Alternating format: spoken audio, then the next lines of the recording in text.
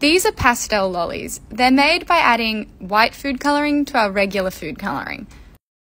And look at them. They they are this is literally such a gorgeous color. I am obsessed with pastel lollies. Everyone else loves them and there's only one reason that we don't do them.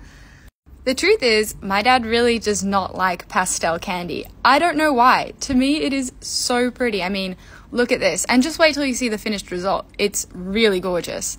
So there is really only one mix we make where we're allowed to use pastels, and that's the one that Lily designed because she's like me, she loves the pastels. And that's the unicorn mix where you have to use pastel rainbows. I feel like that's just the law.